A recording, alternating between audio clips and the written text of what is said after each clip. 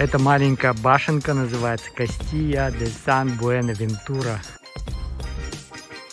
Этот миленький пляж Плая дель Кастия. Да, что-то как-то вообще здесь по-пенсионерски.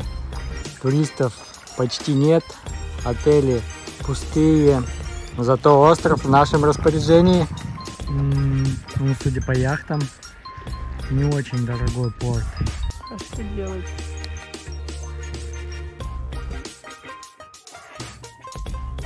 О, да, перекус с шикарным видом.